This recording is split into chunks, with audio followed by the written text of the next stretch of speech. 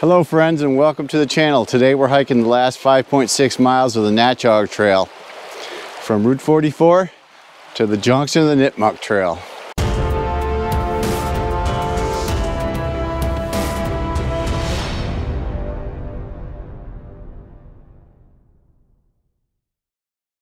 We parked on Route 44 three miles west of Frog Rock and just past Bigelow Brook. Understandably, this is not identified as trail parking. It's a busy road and cars can approach at highway speed, so be careful if you park here. The Natchaug Trail is an 18 mile Connecticut Blue Blaze trail. It was likely created in the early 1970s and first appeared in the Connecticut Walk Book in 1973. There's not a lot of elevation on this hike, but it comes with plenty of water views and stone walls. This is my third video on the trail. It covers the miles 11.9 to 17.8. Please be sure to check out the Natchaug playlist in the description below if you'd like to see more of this trail. This custom AllTrails map shows the section we'll be hiking today. We'll start on the south end at Route 44 and follow the scenic Bigelow Brook north for half of our hike. Leaving the Bigelow Brook behind, the trail stays to the north of Summer Hill where we come to an open view of a large field and the hills beyond. From here we travel west through upland forest before crossing Moon Road and re-entering Natchaug State Forest.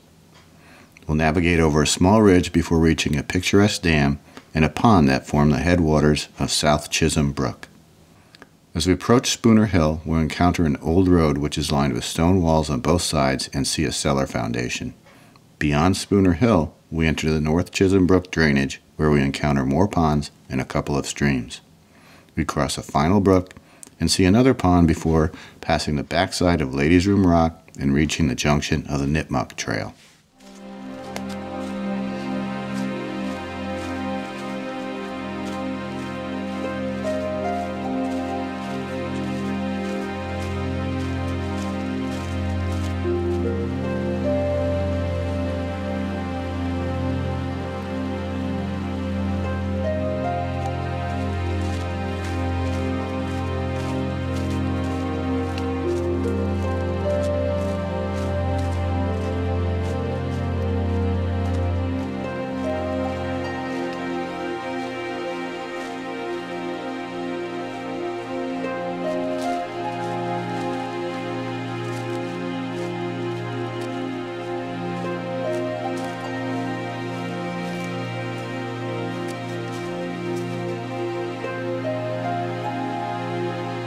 As I walk along Bigelow Brook, I couldn't help but think someone got this wrong. Wasn't this a river? Being the nerd that I am, I looked it up on Wikipedia, which says it's a river. Not fully satisfied, I dug deeper looking for definitions and found that size matters, at least in this case. Here's what I came up with, but do let me know in the comments if you have a different understanding. Brooks and creeks are narrow, and most people can generally step over them. Creeks are brooks that are sheltered, usually by trees. Streams are wider than brooks and creeks, with the distinction of being confined by edges or banks. Most people would be able to jump over a stream. Rivers are wide and usually require swimming or a boat to cross. Anyways, the Bigelow Brook flows from Mashapaug Lake in Union to its confluence with the Still River in Eastford. I estimated its length to be about 12 miles. If you hike both the Natchaug Trail and the Nipmuck Trail, you'll see a lot of it. At this point, we're crossing through some private property. I think it's the Hole in the Gang Wall Camp, and they have a road here going down to an amphitheater. The Hole in the Wall Gang Camp was founded in 1988 by Paul Newman to give every child, no matter their illness, the chance to raise a little hell.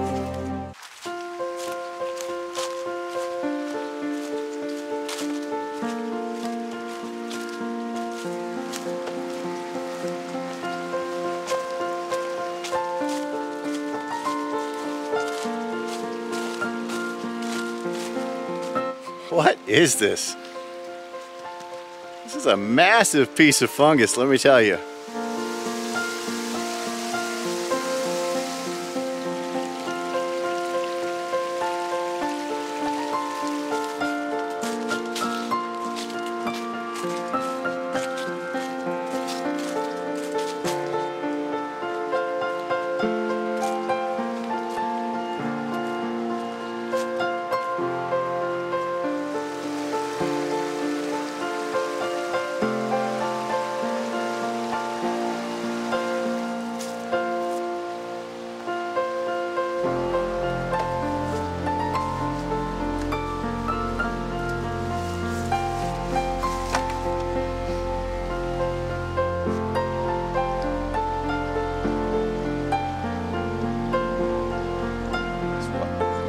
If you've been following my channel, then you know I had back surgery to correct my sciatic nerve problem that's been plaguing me for the last year. This is the first hike in, in over a year where I've actually come out and my leg doesn't hurt. So I'm really super excited about that. I have a new piece of lightweight titanium hardware installed in my spine that keeps everything together. So today we're giving it a test out on the Natchaug Trail and I'm hoping to finish this section uh, without any pain. So let's see how it goes.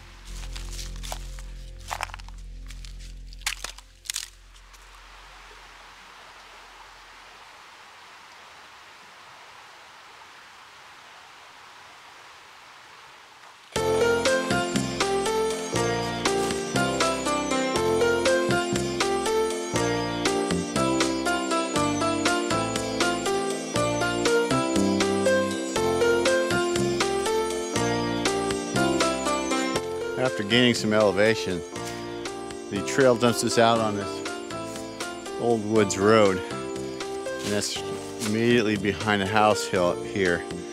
Um, I'll have to do some research and find out what it was, but there was, it looks like there was a road that connected here to Cheney Mill Road, but I'll check it out and let you know. After a short distance, the woods road splits. The trail follows the left fork up along the side of Summer Hill and on the right would be the road to Cheney Mill.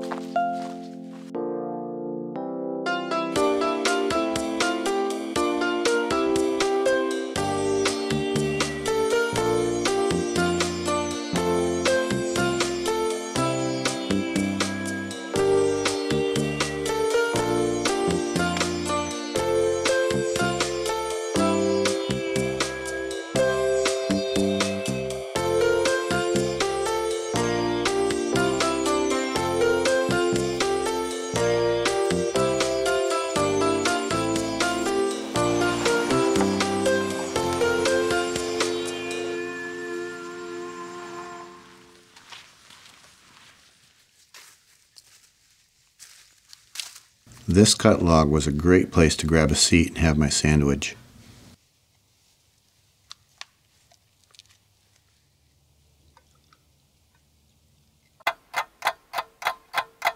So if this looks familiar, it should be. This is where I had lunch yesterday. After that, I decided to head back to the car. It was getting late. I didn't want to hike in the dark, and it was my first hike back since surgery. So I'm going to pick up right here from where I left off yesterday. We're to hike to the end of the Natchaug Trail where it joins the Nipmuck Trail.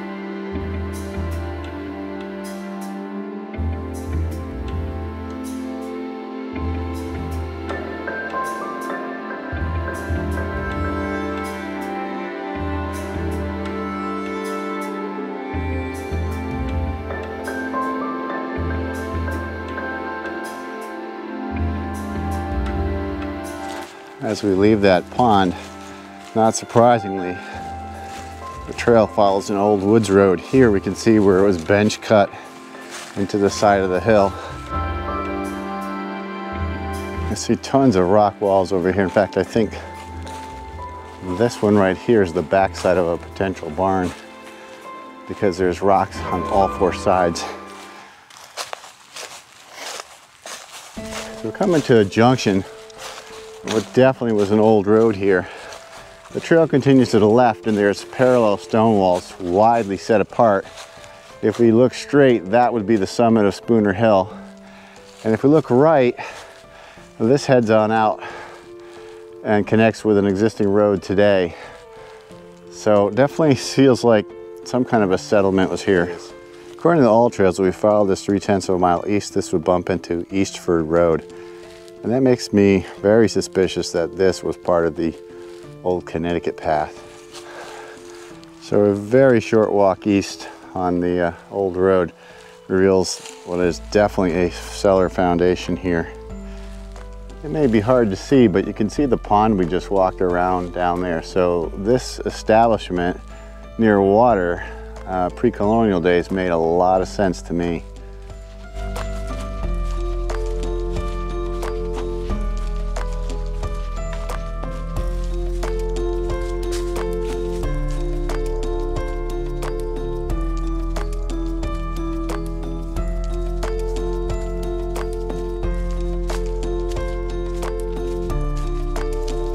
Not sure if we'd see this in the summer, but the Natchaug Trail passes two ponds that are right next to each other.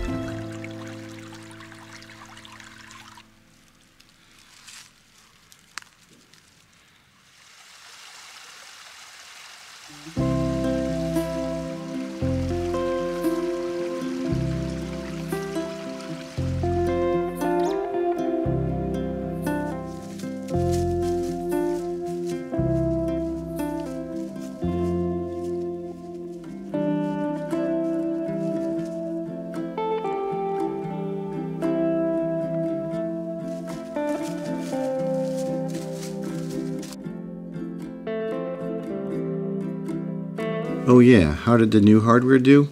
I'm happy to report I had no leg pain. And a special thank you to those who wished me well while I was recovering. As we approach the junction of the Nipmuck Trail, just to our left we can see the backside of Ladies Room Rock. That happy face is for me, having just completed all 17.8 miles of the Natchaug Trail. Behind me is the Nipmuck Trail. If you're interested in seeing more of the Natchaug Trail, check out the playlist below. And thanks for watching. I'll see you out here in the next one.